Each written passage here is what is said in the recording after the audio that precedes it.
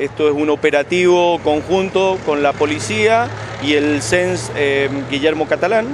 Lo importante es que esto se está haciendo en forma continua, no solo con eh, los CENS, sino con, las escuelas primarias y secundarias.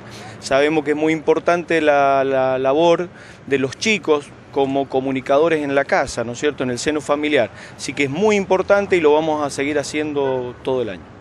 El 10 de noviembre es probable que con los quintos años, que son los que se están por sacar el carnet de conducir, vamos a hacer una actividad, una, charla en el centro de congreso, donde se, bueno, se va a tratar puntualmente del tema de los adolescentes eh, al volante. Y bueno, y esto va a ser muy importante porque viene gente de Buenos Aires y la idea es que concientizar a los que recién comienzan a manejar.